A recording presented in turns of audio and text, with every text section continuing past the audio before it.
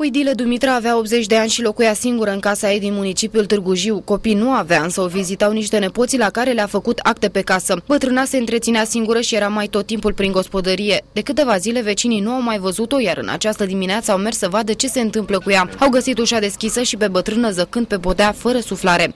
Cine a găsit-o? Eu.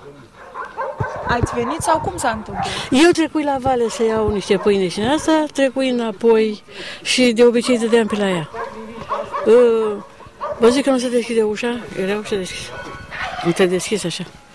Strigai, strigai la fetele astea și veni și un vecin și încercam să deschidem ușa așa, să vedem și văzând că e căzută, putui să intru eu înăuntru, să o acoperi. Să o acoperi, putui că era goală. Știți ceva de ea? Când ați văzut ultima dată? Alaltere am văzut-o, domnule, ieri n-am văzut-o.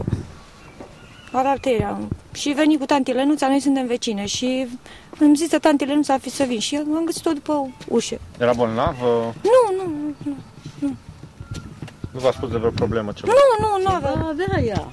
Vecinii au fost cei care au anunțat salvarea și poliția. Medicii de la ambulanță nu au mai putut face nimic pentru bătrână. Oamenii legii nu au suspiciuni cu privire la cauza decesului, însă iau în considerare o intoxicație cu monoxid de carbon. În locuință nu au fost constatate urme de răvășire, mai mult decât atât, cu ocazia cercetărilor au fost uh, identificați banii pe care persoana îi deținea în uh, locuința. De asemenea, la o primă examinare vizuală pe cadavru nu au fost constatate urme de violență. Urmează ca medicii legiști să efectueze necropsia și să stabilească cauza exactă a decesului.